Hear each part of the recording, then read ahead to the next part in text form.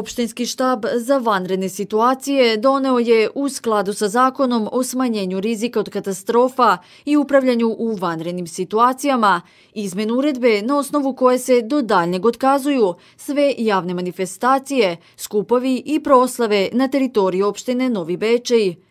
Obavezno je nošenje zaštitnih maski i na otvorenom prostoru, na mestima na kojima nije moguće obezbediti rastojanje od jednog i po metra, poput redova ispred prodavnica, apoteka, autobuskih i voznih stajališta i slično.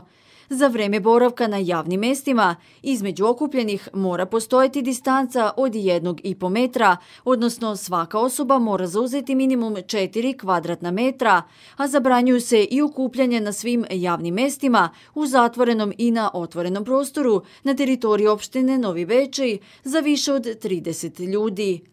Izuzetno od opšteg pravila ograničenja, okupljanja do 10 ljudi na otvorenom i u zatvorenom prostoru, u ustanovama kulture, institucijama koje se bave kulturnom delatnošću, to jest održavanje manifestacija, drugih vidova okupljanja iz oblasti kulture, dozvoljeno je okupljanje do 500 ljudi na otvorenom i u zatvorenom uz poštovanje mere nošenja maski i fizičkog distanciranja.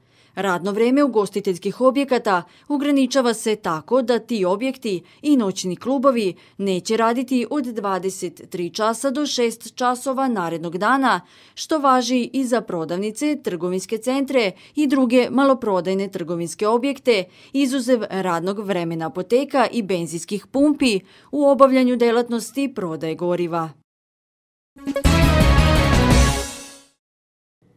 U poslednjih nekoliko godina reality programi postali su naša svakodnevnica.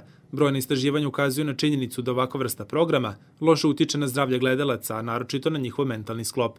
Takođe, gledanje reality programa u velikoj meri utiče na samosvest ljudi i opadanje njihovog samopouzdanja. Budući da u programima ovakve vrste sve češće dolazi do verbalnog i fizičkog nasilja, koje je posledica lošeg vaspitanja i svesti samih učesnika, a koje gledalcima pruža lošu sliku i promoviše pogrešne prioritete i moralne vrednosti, sasvim je logično pretpostaviti da će redovno gledanje reality programa kod gledalaca izazvati loše emocije i time uticati na njihovu psihu. Reality programi emituju se tokom celog dana, zahvaljujući čemu su često dostupni najmlađim gledalcima, ozbiljno utičući na njihovo odrastanje.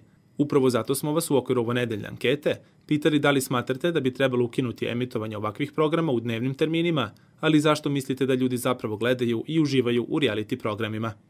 Ma, apsolutno ukinuti. Apsolutno treba ukinuti, to je stvarno promocija, kako da vam kažem, najgoreg mogućeg ponašanja. Zašto mislite da ljudi gledaju reality programe? Neko gleda iz radoznalosti, a neko gleda tako da popuni dan. Ja sam čula, ja sam stvarno čula uh, ženu koja je u, u parku pričala i rekla da nema reality programa, ja ne znam šta bi radila, ja sam sama i onda mi to, to mi pravi društvo. Ona kaže, ja to gledam od ujutro do uveče. Ali društvo mogu da pravi i razne drugi dobri programi na, na televiziji. E, treba li ukinuti reality programe u dnevnim terminima? Treba ukinuti kompletno, ne samo u dnevnim terminima, nego opšte iskinuti sa programa. Zašto mislite da ljudi gledaju te reality programe?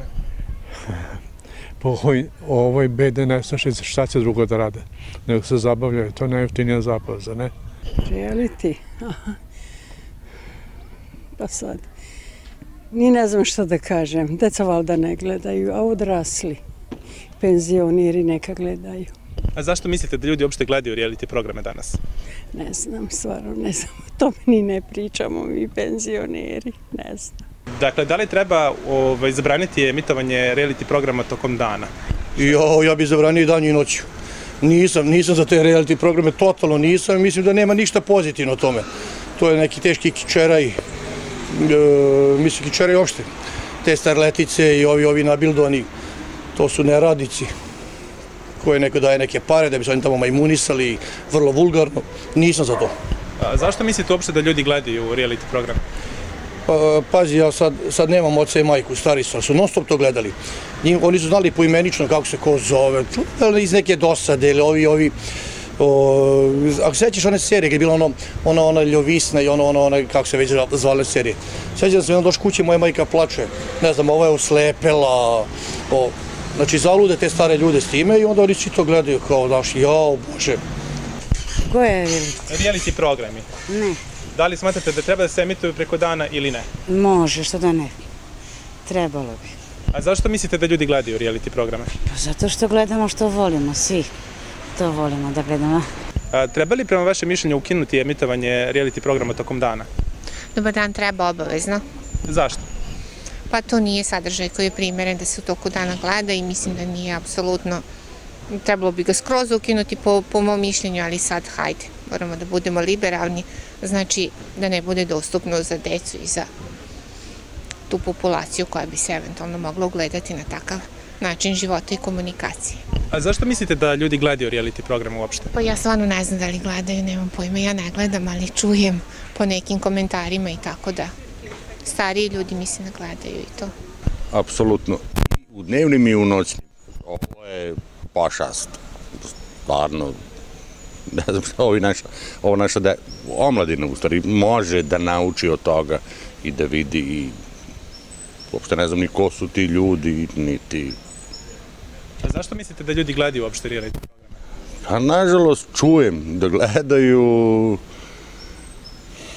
da li su zasićeni politikom, ostalim televizijskim programom ili ne znam stvarno, nejasno mi je.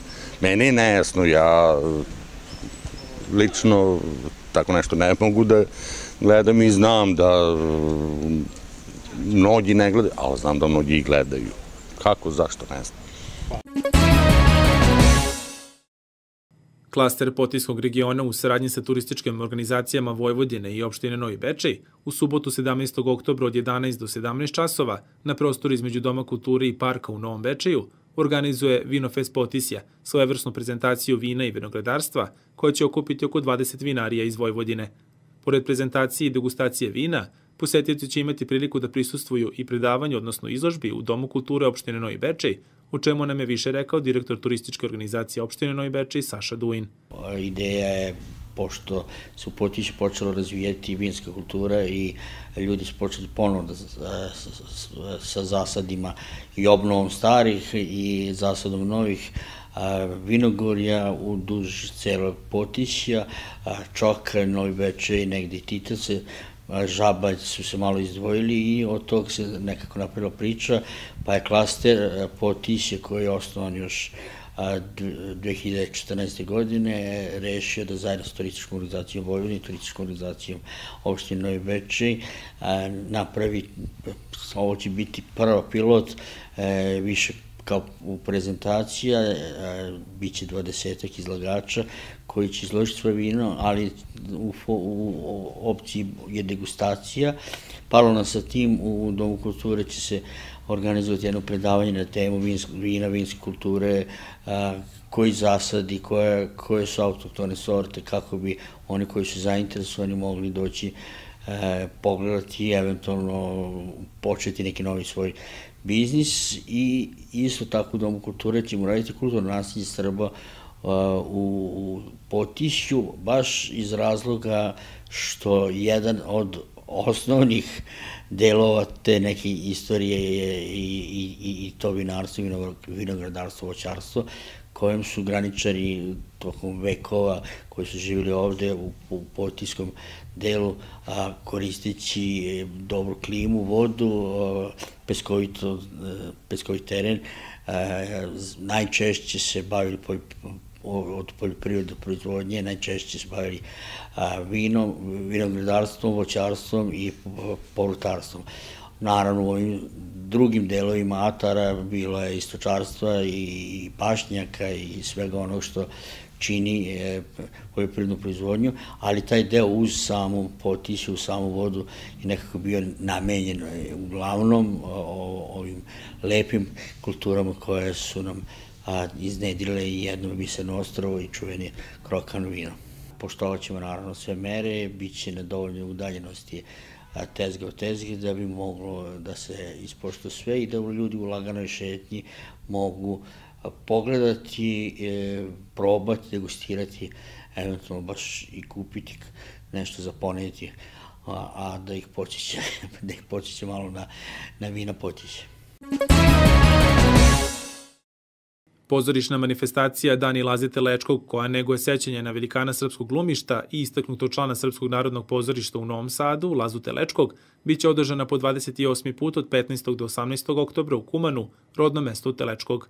Manifestacija se i ove godine održava uz podršku mesne zajednice Kumane i opštine Novi Bečej, a što ovom prilikom očekuje ljubitelje pozorišne umetnosti, najavio je za našu televiziju predsednik Saveta mesne zajednice Kumane Dušan Radišić. Za razliku od prošle godine, usled pandemije koronavirusa i nešto slabijeg stanja budžeta, ove godine će program biti malo skromniji, međutim trudili smo se da on bude raznovrstan. I ove godine smo osmislili tako program da imamo deči deo programa i program za starije.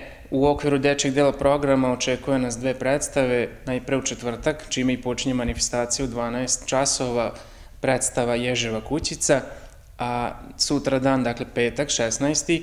oktobar, predstava Carstvo drugarstvo u 10 časova u bioskopskoj sali. Nadam se da će se deca zabaviti, to su predstave za decu preškolskog uzrasta i učnike prvog i drugog razreda.